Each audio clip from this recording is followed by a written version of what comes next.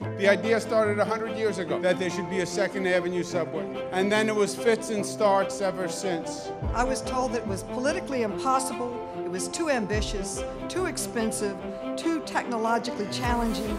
This is, as you will see, a subway station and a subway system like none you've ever seen before. A well-deserved improvement to the city of New York. There's high ceilings, there's column-free designs, and there's an airy feeling. The mezzanine is also an art gallery. There is a work of art at each one of the stations. So it's not only done, but it is really well done.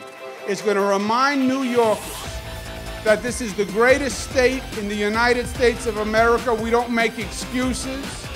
We make the impossible happen. That's who we are. That's what we believe.